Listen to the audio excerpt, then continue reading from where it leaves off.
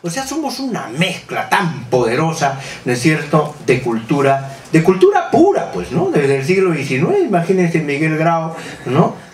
traer a los chilenitos que se ahogaban ahí y subirlos al Huáscar, devolverlos a su tierra como niñitos, ¿no? Perdidos ahí, guaguas perdidas con los pañales cochinos, ¿no? Pero eso ¿quién lo hace?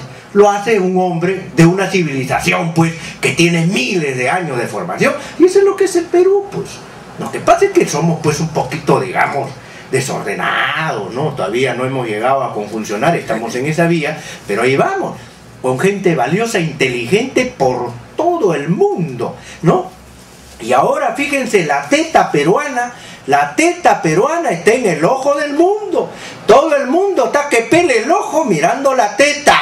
¿No? La están mirando de costadito, como dicen los chicos de Costa Rica, algunos lo están viendo de frente, otros con el ojo abierto, otros con el ojo entornado, pero todo el mundo, ojo a la teta. Ahí está el diario La República con tremendo titular. La teta un Oscar. Perú hay ante los ojos del mundo. Film de Claudia Llosa con Magali Solier compite esta noche en categoría Mejor Película en Idioma Extranjero con cintas de Israel, Argentina, Francia y Alemania.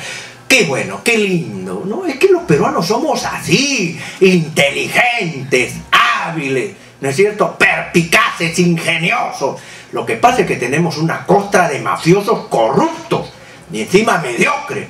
Cuando barramos, cuando, si es que permitir esa, esa palabra, cuando hayamos barrido a toda esa costra pestilente de mafiosos mediocres, este Perú va a ser pero lo máximo, lo máximo, Perú 21 también. Hoy somos teta y claro que si hoy día todo el Perú es teta.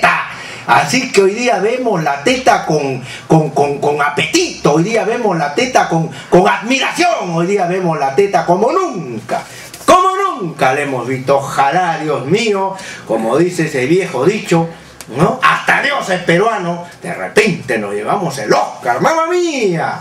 Claudia Yossi Magali Solier compiten esta noche en los premios Oscar en la categoría Mejor Película Extranjera. El cine nacional podría hacer historia si la teta asustada gana la estatuilla dorada, ¿no es cierto?